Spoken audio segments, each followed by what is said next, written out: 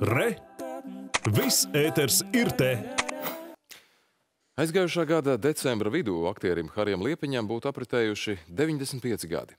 Godinot viņa jubilejas gadu, Latvijas televīzija jau šovakar, pēc deviņiem vakarā, pirmizrādīs dokumentālo filmu Skaidrība, vienkāršība, kaislība. Harijs Liepiņš. Šīs filmas scenārija autori ir mūsu kolēģi Ilza Stranga, bet režisors uh, Gunts Lēmans. Šorīt viņš mums ir pievienojis uz sarunu rīt panorāmā. Labrīt, Gunts! Labrīt! Harija Liepiņa personība un lieliskās nospēlētās lomas, to man šķiet vispār vienā filmā, nu, nezinu, spiežās ārā pa vīlēm. Jā, jā, var sataisīt divas, trīs filmas, un Grūti katram būtu sava versija, bet ir kaut kādi tie lielie, lielie kādēļ Harijs Liepiņš ir Harijs Liepiņš. Un ir skaidrs, ka, nu, tie jaunības un smiļģa laika aktieris ar kaislību, vienkāršību un skaidrību, kas uh, piepildīja šo moto Dailas teātra, uh, iegūla cilvēku prātos pēckara paudzei, kas uh, bedināja nu, vismaz vēl divas, trīs paudzes ar tādu nostalģisku prieku skatīties uz šo aktieru un, un uz viņu iemiesotām lomām.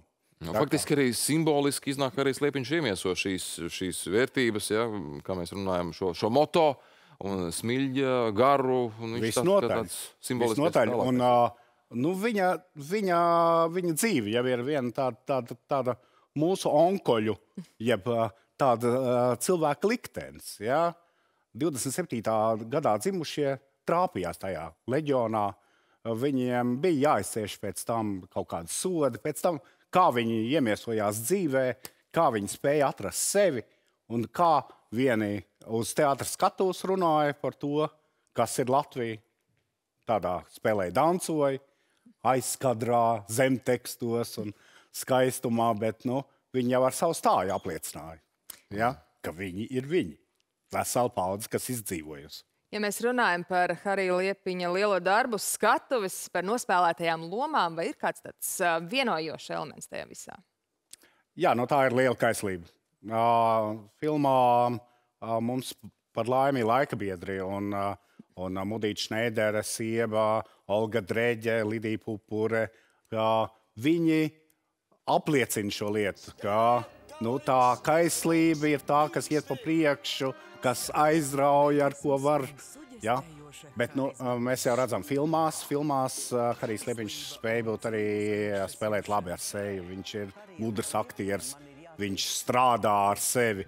Nu, tur būs daudz lietas, kuras um, cilvēki atpazīst, un viņiem ir arī savas versijas. Jūs jau arī saprotat, iedomājieties par Hariju Liepiņu, jums jau pašiem arī ir savas ainas uzburās. Ja? Tā kā šovakar jā. būs iespējams pārsteigums. Uh, Mūsu kolēģi Ilza Strenga ir scenārija autori, bet, uh, ja mēs vispār par tiem materiāliem, tagad arī fonā mēs redzam arī šos video rullīšus apkopojumus, cik daudz un daudzveidīgi, cik dažādi un cik biezā slānī tie bija jāapkopo, jāizsijā, lai šo filmu ilustrētu. Nu, ir daudz, daudz materiāla, un, protams, tā sijāšana notiek. Bet mums arī mūsu rokās nonāca unikāla lieta. Tās ir divas kastes ar, ar Mudītas Šneiders personisko fotografiju arhīvu, kas ir tāds personisks bildes, teātra bildes. Tad likās, ka nu, tā kā vajadzētu dot to, kas nav varbūt arhīvā tik daudz. Ja, tas tā ir tādas kultūra vēsturiskas vērtības iekšā. Uh, skaidrs, ka filmās, ja uh, Rolands Kalniņš filmēs, daudz Alois Brenčs filmēs, ar mazliet tikai vienā filmā Varas Brasla, Emīļa nedarbos, ja, sākuma epizodēs, bet tās jaunības diena, kā um, Bētrā, kur mēs maz esam redzējuši, ja? vai uz jauno krastu 55. gadā. Nu, tur nāk ārā tāda jaunības deksme, un tur var redzēt, kāds Harijs Liepiņš ir jaunībā. Ja? Jā, starp citu, Latvijas Teātras darbinieku savienība jau kopš 2005. gada pasniedz Harija Liepiņa balvu aktieriem par spilgtu, par izcilu, par tiešām uh, abrīnojamu darbu teātrī. Aktieri, kuri saņem šo godalgu, kā viņi to novērtē, kā viņi to izjūt? Nu, jā, dažiem aktieriem un daži ir mums arī dzan, ā, teikuši savu vārdu. Jā, kā Girts Česteris, Žagars, Gundars Āboliņš. Ā, un, un katram no viņiem ir arī bijuši sakari. Viņiem ir bijuši arī kopā spēles laiks.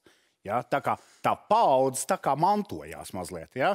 Varbūt, ka viņi arī Liepiņu redzēja jau tādā norietā, ja? kā senioru, kurš par skatu jau tādu ar mazliet attālinātu skatu. Un tajā brīdī viņš varbūt bija um, kaislīgāks makšķernieks.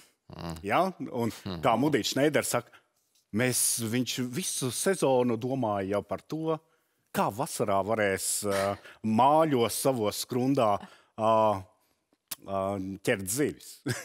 jā, nu, tā, jā, tā kā tas tiešām laikmeti, jā, kādus desmitgadus varētu pat dalīt, kādus mēs ar Kariju Liepiņu esam ar viņu lomām arī dzīvojuši, kā tas noteikti iezīmē ko savu. Kas vēl runā filmā? Pats par sevi, protams, runā fotografijas, runā video materiāli, runā arī jau pieminētie Kariju Liepiņu balvu saņēmuši aktieri. Kas vēl ir tikuši izvaicāti? Uh, protams, uh, tur ir arī personiskie stāsti, uh, tur ir arī klātesošs pats Karijs Liepiņš, caur fragmentiem, caur balsi, caur um, uh, klātbūtni, caur bērniem. Un, protams, bērnu līnija tur ir uh, arī ļoti vitāla un spēcīga. Mēs uh, uh, saprotam, ka ir turpinājums neskatoties uz uh, traģiski aizgājušā dēla bojājumu.